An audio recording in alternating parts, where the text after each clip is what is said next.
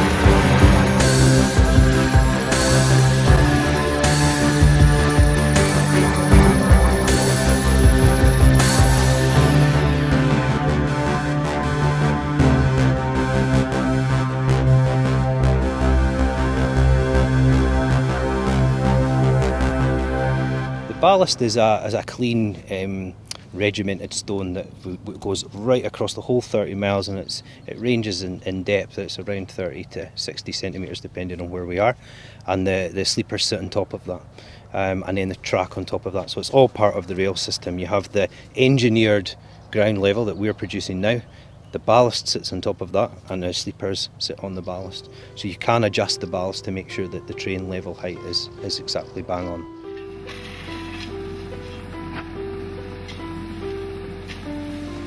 Across the whole 30 miles of the route, we've got a new drainage system. And depending on the, the area, depends on the size of drainage pipe we use, and the, they, they fall out to a discharge point. Um, so through here, through the Tynehead Cut, it's a very wet area. So there's drainage right along both sides of the track. And what you can see here is the drainage stone being put down. The white blanket is a textile blanket which will protect the drainage for the longer term um, along the full length concrete railway sleepers rather than the traditional timber ones.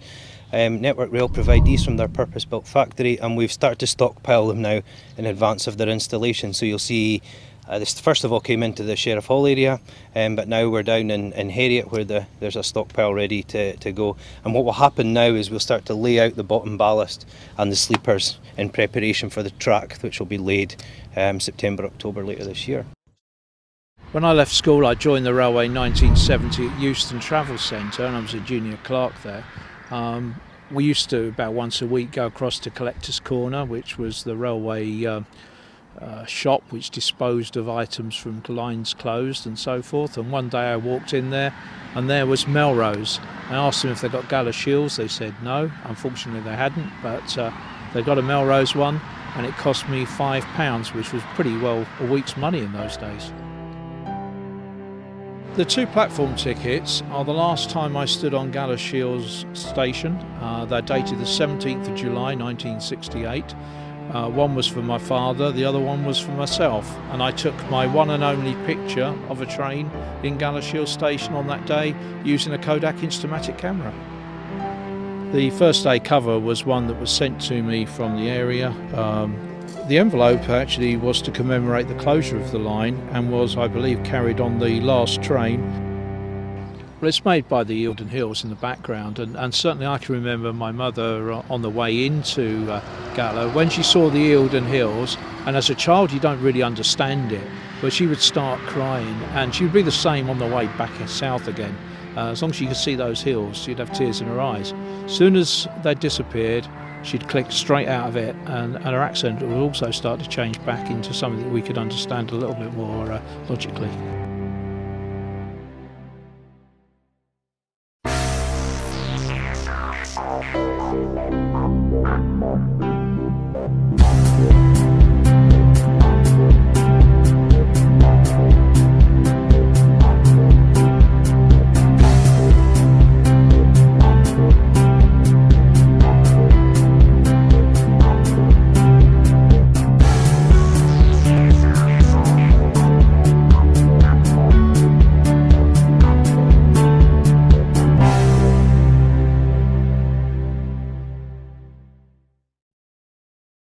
Suppose this is the um, first generation uh, in over 40 years which will grow up beside the railway. So we use Scottish Youth Theatre uh, for a lot of safety messages that Network Rail do, does across Scotland, but also um, when we're putting new routes in as well. So um, you know they get the message across in a friendly way.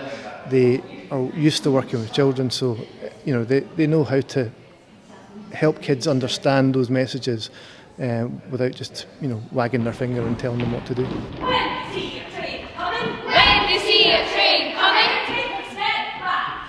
Take a step back. Give the train a wave. Give the train a wave. But don't play on the track. But don't play on the track. It is different, I think, in the borders in Midlothian because they don't have that um, experience of having a railway. But I mean, there's been we've been quite surprised and, and, pleased with how much people already know and how kind of interested and, and excited they've been um, about talking about it down here. So yeah, it's been good.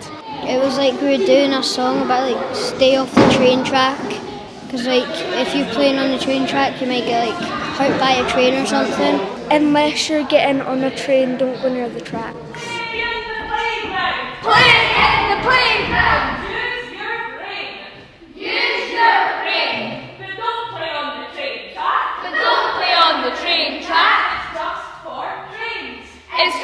for drinks.